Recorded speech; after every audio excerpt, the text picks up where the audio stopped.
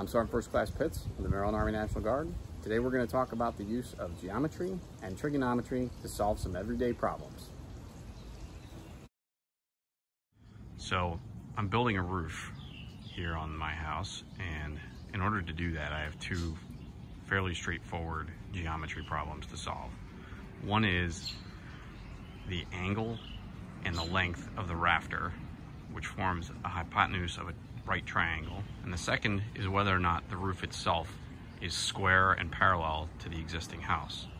So in order to do that, we're going to use a little bit of Pythagorean theorem and a little bit of sine, cosine, and tangent. In order to determine if the roof is parallel and square to the existing building, we're going to use the Pythagorean theorem. Basically what that means is we're going to use a right triangle to determine whether or not the building is square. I've established two reference points. One is the short A side of the triangle, and the other is the longer B side base of the triangle. And that side is parallel to the existing house. Looking at it from above, you can now see a little bit better the two sides of the triangle, the B side or the base, and the A side or the short side we're going to use something called a 3-4-5 triangle to determine whether or not this is square. What that means is that by the Pythagorean theorem, any triangle that has three units on the, on the A side, four units on the B side, will have five units on the hypotenuse. So this triangle will have nine feet on the A side, which is three times three feet. 12 feet on the B side, which is three times four feet, and should have 15 feet on the hypotenuse, which is three times five feet. In order to do this correctly, you have to make sure that you're using uniform reference points. So in this case, I'm gonna use the inside of the boards that I've marked out as the triangle as the reference point. For the A side, I've measured out nine feet from the intersection of the two boards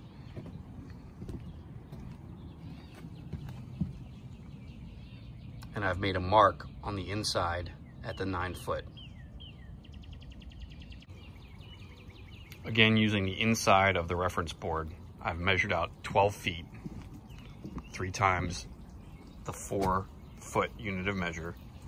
And I've marked out the 12 foot mark again on the inside of the board.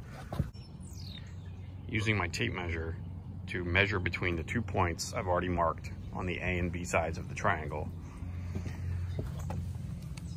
you can see that the hypotenuse is 15 feet long, which means that it is a true right triangle and has a 90 degree angle or a square at the intersection of the two short sides of the triangle.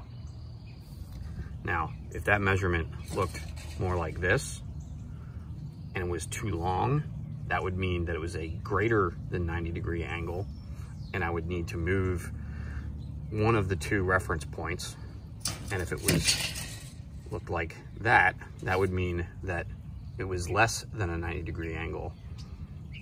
And I would also have to move the reference points, but in a different direction. Now that we used the Pythagorean theorem and a 3, 4, 5 triangle to make sure that the reference points are square and also parallel to the building, I can use them as a basis to make all my future measurements, ensuring that the entire roof will be square. So now we've set the conditions to solve the second problem, which is the angle and the length of the rafters. I've established a level surface for the rafters to sit on at the front with a load-bearing beam across what will be a window later.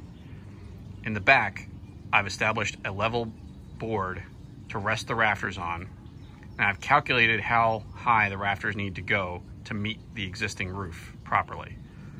So I've created another triangle. What I have to do is I have to measure the A side and the B side so that I can calculate the length of the hypotenuse and also the angle that the rafters need to be cut at. In order to calculate the B side, I have to decide what points I'm going to use for reference. So in this case, I'm going to use the point at which the lower side of the rafter touches the load-bearing beam. And I will use the inside face of the framing that's holding up the rafter. By measuring between those two points, I can calculate the length of the B-side. Using a level, I've traced the line that extends up from where the rafter touches the beam. I'm then going to use my tape measure to measure to that line.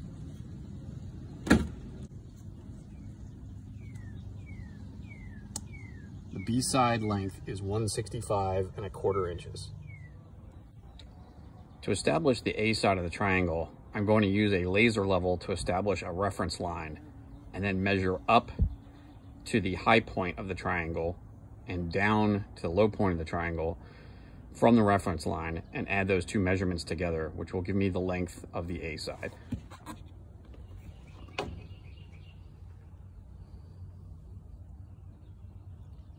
So measuring up from the reference line is 30 inches to the top of the triangle. Measuring down from the laser re reference line, I came up with 15 and 3 quarters inches for a total of 45 and 3 quarters inches for the A side of the triangle. Now I have all the information I need to find the angle and the length of the rafter using the lengths of the A and B sides.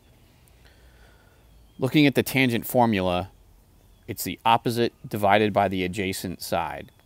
So we divide 45.75 by 165.25, coming up with 0.2768, which we use the tangent function, and it comes out with 15.47 degrees. To find the length, use the Pythagorean theorem. We square the A side and add it to the square of the B side, and then find the square root, which gives us 171.4661 inches. So we're going to round those numbers off because for the purpose of construction, it doesn't have to be that detailed. So 15.47 degrees gets rounded to 15 and a half degrees. And 1 16th of an inch equals about 0.0625. So 171.466 is less than a 16th of an inch from 171 and a half. So we're just going to use 171 and a half as the length of the rafter.